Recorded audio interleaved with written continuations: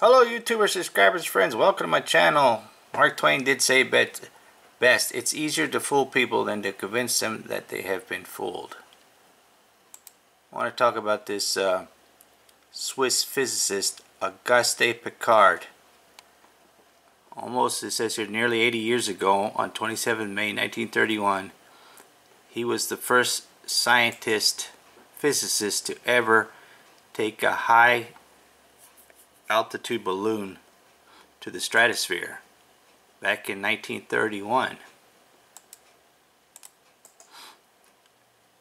Why doesn't why why don't they teach you about this guy in school?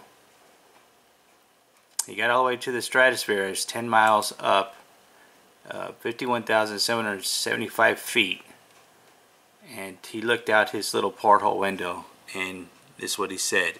It seemed a flat disk with upturned edges.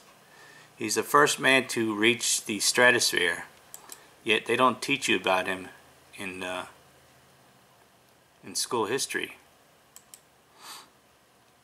It seemed a flat disk with upturned edges. Why is that? 80 years now. Not even they don't even mention him in uh, um, NASA, but they did take his name because his last name's Piccard. It says right here they used his name in the the TV series and movies uh, Star Trek. But even Hennessy, the whiskey or rum or whatever that is, they got a commercial out dedicated to him. And it says right here, a toast to the flat earth community. Why is it such a big secret? Why is it the government won't allow anybody to go to the uh, Antarctica? Why is it when people you tell people about this guy, first guy to ever reach the stratosphere in, in, the history of mankind, that he saw what the Earth truly looks like. I mean, this is freaking a long time ago. This is way, way before uh, NASA ever went to so-called uh, parentheses air quotations in air uh, space. They went what 1969? They supposedly went to the moon. Supposedly. I don't think so. But why don't they why don't they talk about this Professor Auguste Piccard? He's a very intelligent guy. I don't get it. All I'm saying is 80 nearly 80 years ago, the Swiss physicist Auguste Piccard took off from Augsburg, Germany in a pressurized aluminum capsule attached to a large hydrogen balloon.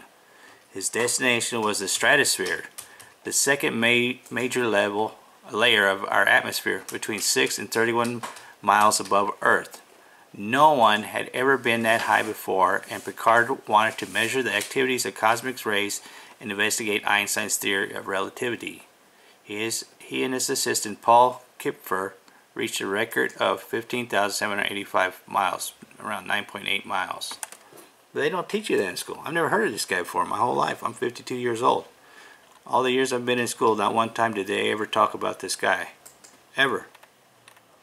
And and they don't even say, uh, Gene Roddenberry doesn't even say where he got the name Picard, even though it says here that they use his name in Star Trek, the movies and the TV shows. All I'm asking is that you do this research yourself. Why is Hennessy making a toast to this guy and to the flat earth community? I'll put a link to this this is a video, Professor Picard and his flat earth discovery, in the description box below to where you can watch this whole uh, video about this uh, Auguste Piccard. You'll see the commercial and you'll see that he, he's the first man in uh, history to ever reach the highest um, plateaus on, on Earth and his son is the first man in history to ever go the deepest in the oceans. And uh, all I'm saying is to research this stuff. If you don't like this kind of stuff, don't watch this video. You know, you don't need to put your negative attacks in my comments, you know, and, and, and say negative things. If this is not something that you like to watch or hear, then change the channel. Like Howard Stern would say, change the dial. You know, all I'm saying is, it's easier to fool people than to convince them that they have been fooled. Why, why would they say something like this back in history? Because they know something. Secrets are out there. You just got to look for them. Alright, well that's my video today. Like I said, I'll put a link uh, to this website in the description below and I'll put a link to the video. You can watch it yourself, come up with your own conclusions, do your own research. Thanks for uh, taking the time to watch my videos. Like, comment, subscribe. Don't cost anything. It's free. And I'm gone. You get gone.